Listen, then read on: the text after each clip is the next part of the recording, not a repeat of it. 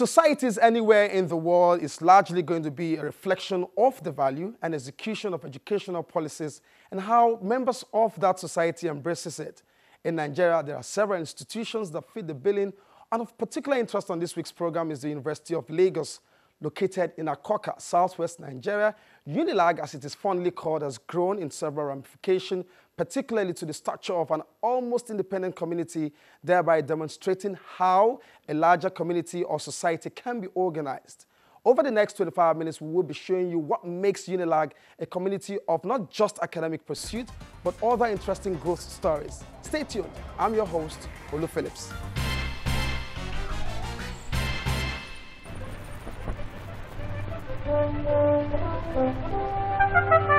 As the independence of Nigeria beckoned in the late 1950s, the hope for rapid industrialization and economic development to save Nigeria from the suffocating tyranny of poverty and underdevelopment was kindled.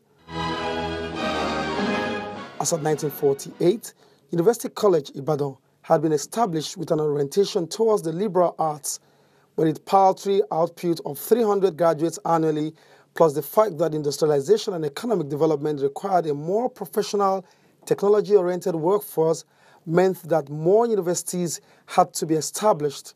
The then federal government set up the Sir Eric Ashby led Commission on Post School Certificate and Higher Education. Thus, four universities were catalyzed into existence. The University of Nigeria Nsukka was founded on the lines of the American land grant universities, and it proclaimed the new identity with the significant motto to restore the dignity of man. The Ahmadu Bello University, Zaria, 1962, the University of Ife, 1962, product of the initiative of the Western region in response to the realities of the prevailing situation, and the University of Lagos, 1962, as a federal institution.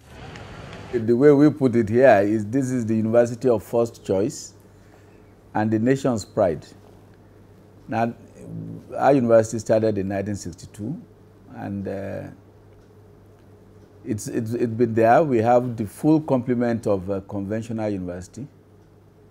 We have uh, 12 faculties in all. We have several schools also. Our medical program is outstanding. Our law program is outstanding. Our mass communication program is outstanding. Pharmacy is outstanding. The courses in the Faculty of Arts, Business Administration, Environmental Sciences, Social Sciences.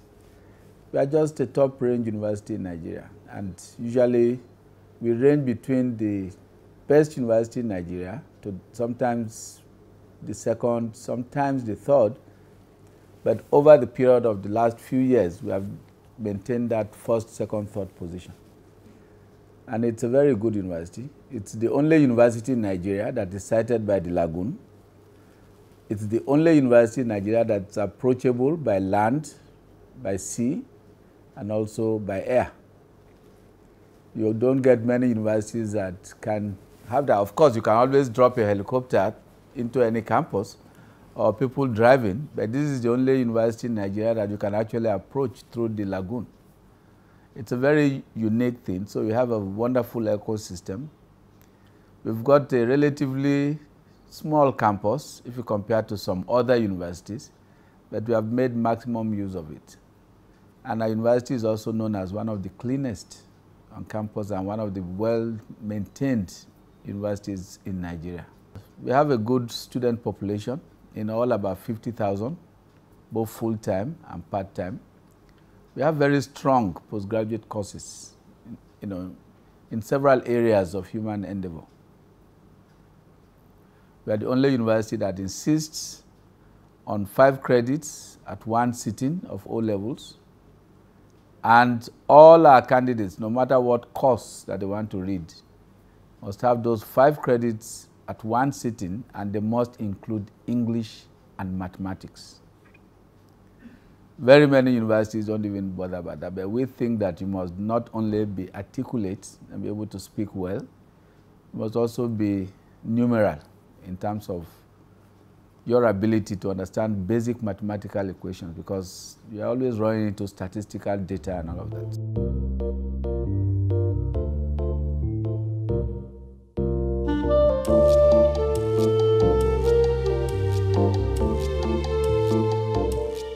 Whereas the Ashby Commission had envisaged a non residential institution which will be sited in the business district of central Lagos, the UNESCO Advisory Commission, charged with the detailed planning for the new university, opted for a more traditional university, a complete all encompassing institution. Thus, on the authority of the University of Lagos Act of 1962, the federal government established the University of Lagos on October 22, 1962. The Act provided for an 11 member provisional council for the university, a senate to preside over academic affairs, and a separate council for the medical school located at the University Teaching Hospital in Idiaraba, a few kilometers away from the Akoka main campus. Thus, the university actually consisted of two separate institutions the main university and an autonomous medical school. The university operates beyond a mere institution of higher learning.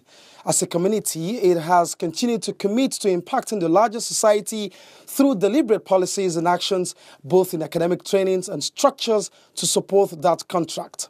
Our university was set up to meet the demands of the industry, to meet the de demands of the commercial areas. We were the first university in Nigeria to begin a Master of Business Administration program. That's the MBA. Of course, quite a number of universities latched onto that after a while. But our university was to meet, you know, we have a very strong faculty of business administration with banking and finance, accounting, actuarial science and insurance, and a few of the other programs, industrial relations and personnel management. So our university was set up to meet the demands of that industry, as well as you know, the civil service uh, structure and all of that, you know, courses in the arts, in the humanities, urban and regional planning, geography, surveying, engineering.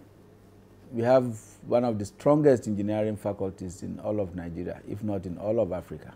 I mean, the University of Lagos is for excellence anyway, so that's, the, that's, that's our, our primary aim to ensure that we build a very strong workforce and make our students go through very rigorous training.